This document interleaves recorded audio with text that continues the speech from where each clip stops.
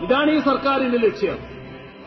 ഞങ്ങളെ ആക്രമിക്കുന്നവരുണ്ടാവും വിമർശിക്കുന്നവരുണ്ടാവും അവരാ വഴിക്ക് പോവുക എന്നുള്ളത് മാത്രമേ ഉള്ളൂ. അതൊന്നും ഞങ്ങളെ ബാധിക്കുന്ന കാര്യമല്ല. ഞങ്ങളെ ബാധിക്കുന്ന കാര്യം ഈ നാടിന്റെ പ്രശ്നങ്ങളാണ്.